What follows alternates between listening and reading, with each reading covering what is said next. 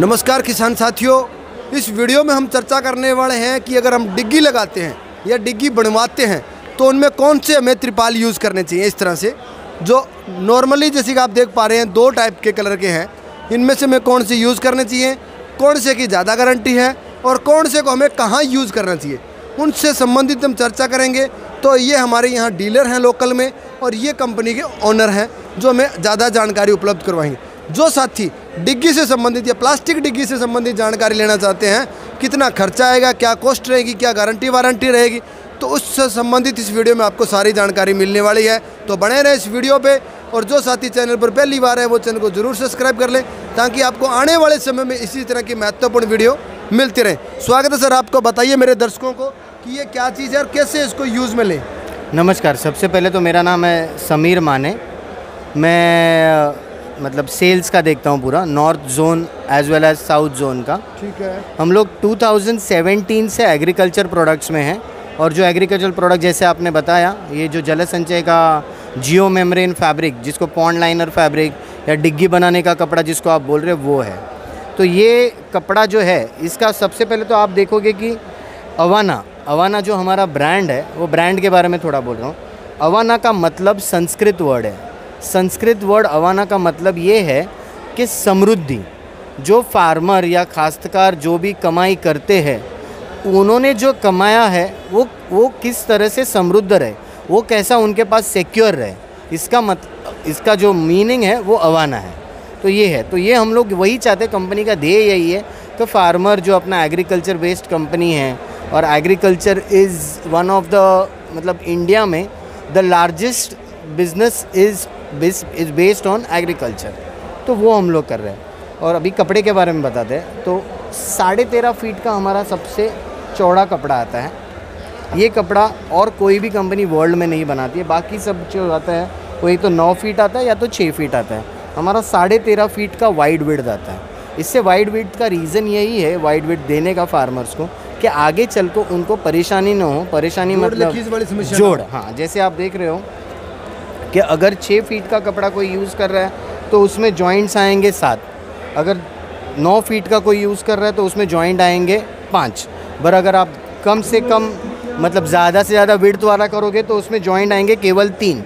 ये नॉर्मल डिग्गी का साइज़ है, अठारह सौ पचास की डिग्गी है, उसका साइज़ है। तो ये सबसे बड़ा फ़ायदा है। उसके बाद जो दूसरा हमारा सबसे मेन यूएसपी है, वो है प्रोटेक्स टेक्नोलॉजी अभी प्रोटेक्स टेक्नोलॉजी के बारे में बताता हूँ। ये है कि ये है कि आप जैसे पीपी है पॉलीप्रॉपलिन है एच है, ये एचडीपी भी एक पेट्रोलियम प्रोडक्ट है। जैसे आप पेट्रोल कहीं पे डाल दो या ज़मीन पे डाल दो या डीजल डाल दो, वो ऊपर उड़ेगा। तो जैसे कि पीपी भी one of the product of petroleum से बाहर आया है तो वो भी गर्म होने के बाद ऊपर जाने के लिए देखेगा। तो वो ऊपर न जाने के लिए या इसके ऊपर छिलटे न निकले, इसके लिए प्रोटेक्ट टेक्नोलॉजी का यूज़ किया है। इससे क्या होता है कि जब ये कपड़ा बनता है तो उसके अंदर की जो गैप्स है, जिसमें कंपन होता है, वो भरने के लिए एक सेपरेट परत हम लोग लगाते हैं।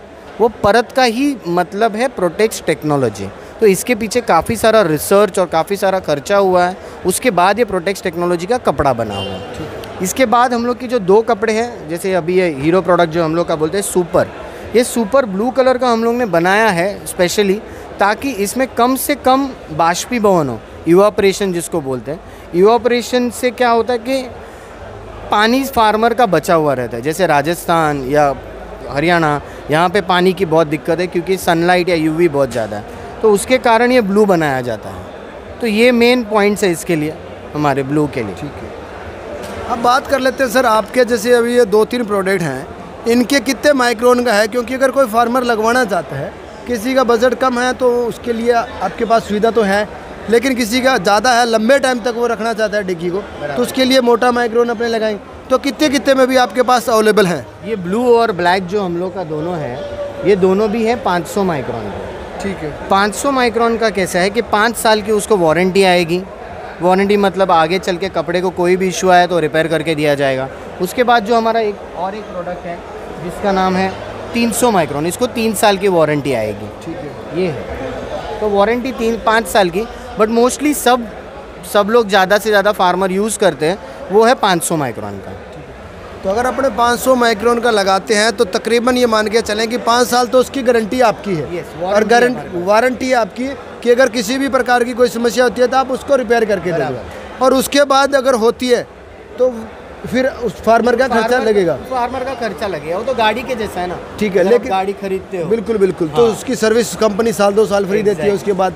तो नॉर्मली पाँच साल की अगर वारंटी है तो कम से कम इसकी आठ से दस साल तो लाइफ होगी। आराम से। आठ साल तक तो अगर ठीक तरह से इसका निगाह रखे। फॉर एग्ज़ाम्पल मैं बोलता हूँ कि अगर मैं फार्मर को थोड़ी टिप देना चाहता हूँ कि अगर उन्होंने डिग्गी बनाई तो सबसे पहले उसको तार का कंपाउंड कीजिए बाजू से।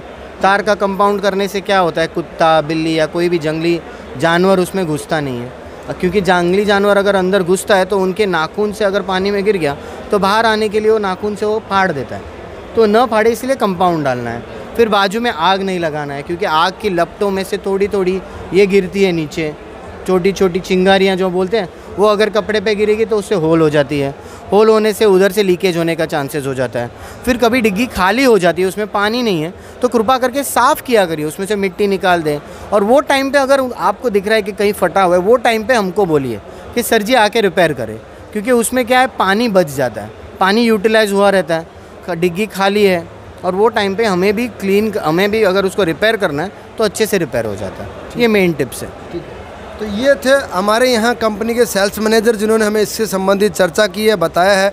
और ये हमारे यहाँ लोकल है डीलर जो कि राजस्थान और हरियाणा में काम देखते हैं। सर स्वागत आपका। आप बताइए दर्शकों की आपकी शॉप कहाँ पे है? मेरी शॉप नेठाना गाँव में है।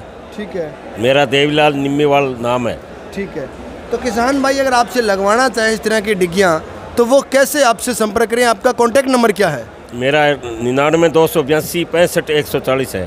ठीक है। तो इस पे आपसे किसान भाई संपर्क करके आपसे बनवा सकता है लगवा सकता है। लगवा सकते कितने समय में आप एक सौ बाई सौ की डिग्गी बना के तैयार कर दोगे? एक दिन में। एक दिन में। हम्म। तो लगभग मतलब क्या है कि अपने क्षेत्र में कितने माइक्रोन की डिग्गी किसान भाई ज़्यादा यूज़ कर रहे हैं? पाँच सौ माइक्रो। 500 माइक्रोन। 500 माइक्रोन की 100 बाई 100 की अगर हम खर्चे की बात करें तो कितना खर्चा आएगा? लगभग एक लाख साठ हज़ार। एक लाख साठ हज़ार साठ या पिचपन हज़ार। मतलब एक लाख साठ पचपन के बीच बीच में हाँ बीच में हाँ बीच में। जिसमें आपका क्या कुछ रहेगा और किसान का क्या कुछ रहेगा? किसान का क्या रहेगा? मतलब वो एक लाख साठ हज़ार में आप किसान को क्या क्या सुविधाएँ दोगे? यानी कि तिरपाल है। पाँच साल की वारंटी देंगे। ठीक है। और लाने ले जाने का खर्चा? हमारा सब खर्चा हमारा है। अच्छा सब खर्चा आपका है। और वो मशीनें ले जानी ले जानी वहाँ सिलाई करनी सब आपकी हाँ, ट्रांसपोर्ट सारो हमारा है। ठीक है।